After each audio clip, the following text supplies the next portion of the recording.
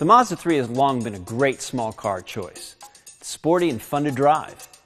Fuel economy has always been decent, but never a standout. But that's changed.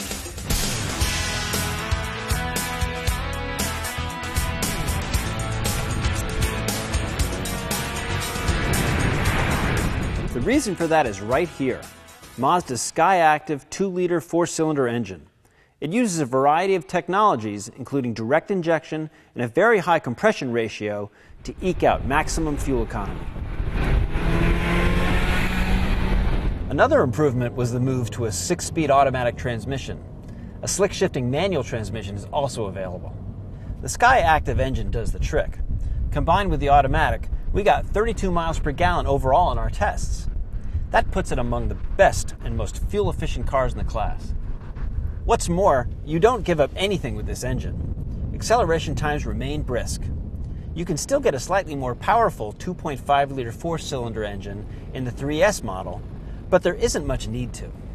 Good fuel economy doesn't have to be boring to drive either.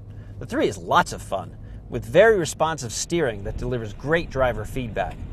The ride is also quite good, with impressive composure for a small sedan. Just as most of the Mazda 3's inherent goodness remain, so do some of its flaws. For example, road noise is very pronounced. This is not a quiet car. The back seat is tight with not much legroom. Beyond that, the 3 has a well finished interior.